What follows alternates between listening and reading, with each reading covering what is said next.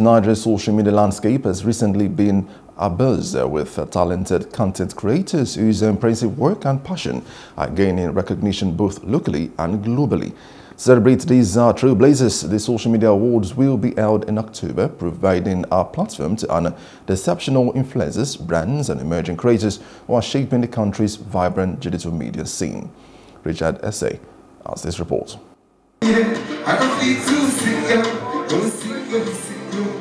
The second edition of Social Media Awards titled The Spotlight is set to take place in October.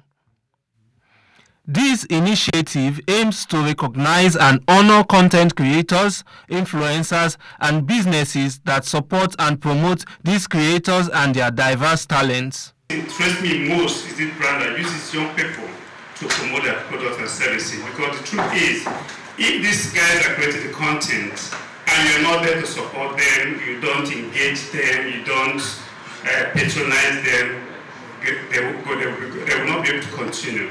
But they can keep doing it because you are there to support them.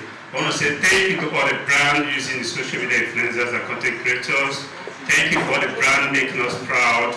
And then for the social media influencers themselves and the content creator, it's your time, we were here to celebrate you. These awards aim to motivate and encourage young Nigerian content creators and the businesses that support them as influencers and creators struggle to monetize their work across social media platforms. Make them to stay motivated by putting up this award because with this award when these social media platform are not recognizing them are giving them the or giving them the incentive that they deserve with this award they stay motivated the aim is to recognize those in the social media the content creators the influencers and the organizations who are using these uh, social influencers to do their business. Impression so far so good. It's actually been a spectacular event, and I just I just want to say um, real kudos to the organizers for you know bringing up this platform to be able to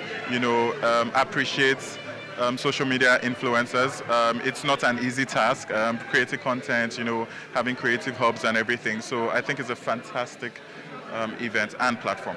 In the digital age, content creation and social media influencing have enabled individuals, particularly young people, to establish their relevance and gain financial independence.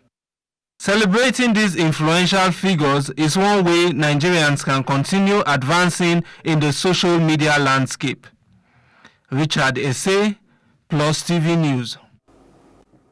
Hello, hope you enjoyed the news. Please do subscribe to our YouTube channel and don't forget to hit the notification button so you get notified about fresh news updates.